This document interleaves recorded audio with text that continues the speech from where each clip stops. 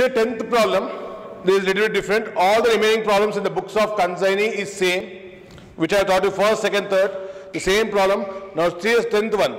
Anand of Hyderabad consigned goods worth rupees 20,000 to his agent Arvind. So who is the consigner?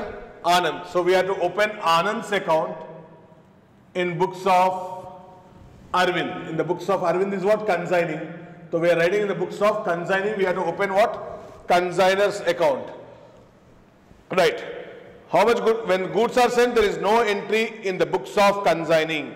That you are clear. Next, Anand spent 10,000, 1,000. When the expenses are met by consigner, there is no entry in the books of consign, leave it off. Arvind sent 5,000 as advance.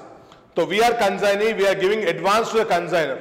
Whenever we give advance, debit the receiver. Who is the receiver? Consigner. Who is the consigner here? Anand in the books of Arvind.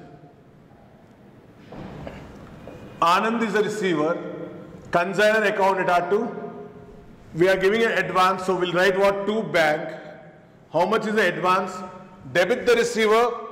We are giving a check, so write to bank. Credit what goes out or credit the credit what credit the giver. So how much is the advance we are given? 5000 as advance.